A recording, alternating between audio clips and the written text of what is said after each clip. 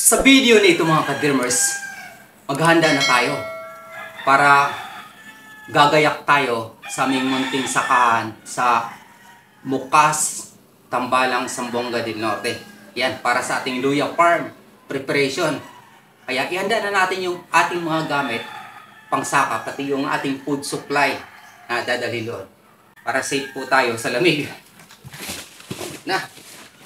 Tapos, yung ah, kamote na order ng aking tiyuhin para sa kanyang apo ay dadalhin na natin. Limang kilo po to. Yun na.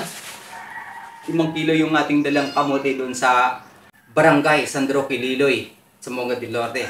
Yan, layo ng inabot ng ating kamote crops. Ito pa, yung ating ah, noodles.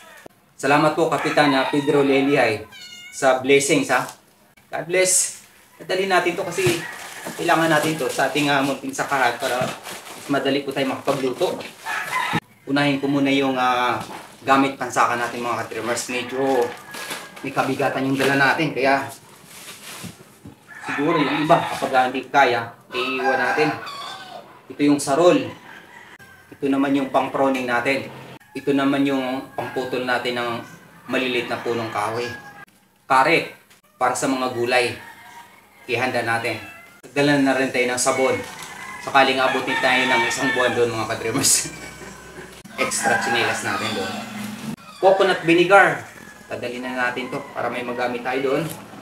At siyempre yung ating ah, buta para proteksyon. Lalagyan natin to ng ah, sako kasi nagbabadya po yung ulan. Baka mabasa yung ating ah, mga gamit papunta doon sa ating munting sakahan. Ay, ito pa pala. So, may nakalimutan pa po tayo mga kadreamers. Yung ating ah, protection sa kamay. Glove. So, ilalagay natin ito. Muntik na. Yung ating flashlight. Emergency light. Although may solar po tayo doon sa ating munting sakahan. Pero kailangan natin ito. Meron po tayong tatlong power bank. Dalawang ah, true electricity. At isang solar. Dahil sa wala pa pong kuryente doon sa ating munting sakahan. Kailangan natin to para makapag-video po tayo sa ating pang-araw-araw na ah, local farmers ika nga update. Ito pa, yung ating ah, pang ah, hatak ng mga damo. Yung gawin natin ngayon. Hindi lang yun. Ito na mga katrimas, meron na po tayong manok dadalhin doon. Panimula, dumalaga na. Susunod na buwan, mangingitlog na po ito. So, ilalagay ko na sa sako to. Yan, diyan ka muna. Meron pa tayong sisiw. Dadalhin na rin natin to. Pero, nilagyan ko siya ng plastic para maproteksyonan. Baka mamaya tukain bigla nung uh, dumalagang manok. Pero itatabi ko sa kanya to. So ito na mga kadreamers. Dumating din tayo dito sa aming munting sakahan. Ayan. Kulang-kulang 18 kilos yung ating dala. At ah, ngayon ko lang naranasan na siyam na beses po tayo nagpahinga. Dahil sa sobrang bigat po talaga ng ating dala. Bukod sa riyan, dahil sa may dala po tayong livestock, yung manok, ito nasa sako. Pakawalan na natin ito mamaya-maya lang. Pakainin natin dahil sa nagugutom na rin. Dito kami natutulog ni mama dahil sa malamig na ang panahon ngayon, kaya nagdala ko ng trapal at mamaya-maya lang ay isi-set up ko pagkatapos maghapunan habang may araw pa. Kaya ito ngayon, sinamantala ko, mga ka-dreamers, sa sobrang gutom at pagod, nagkape muna ako. Tapos, ayan, nagsaing na rin ako para magtuloy-tuloy na yung trabaho natin habang nagbablog. Nagpapahirap mga ka-dreamers at nagpapabigat yung ah, livestock. May dala tayong manok, kaya ayun, talagang siyam na bisis tayo nagpahinga sa paglalakbay na ito. Thank you Lord, kahit pa paano. Ito naman, yung manok na ito mga ka-trimmers ay galing pa. Isa sa kanak namin sa unahan pa po ng Ipil, papunta ng ah, Sambuanga City. Ayan, salamat po. Tio Juni, Buhali, Abatayo at ah, Tio Prido, Abatayo, Buhali. Dahil sa si Juni po ang nagbigay, tapos si Tio Prido Abatayo naman yung nagdala dito. Ang layo ng pinanggalingan ng manok na ito. Salamat, dumalaga na po. Malapit na po itong mangitlog. Kaya salamat po, ah Tio Johnny at ah, Tio Prido. Ganito yung um, family. Yung kaanak ika nga magtutulungan. Dahil sa kung magsisimula ka pa lang ay talagang ah, di po sila nag-alinlangang magbigay kung ano ang meron sila. Kaya ito, manok.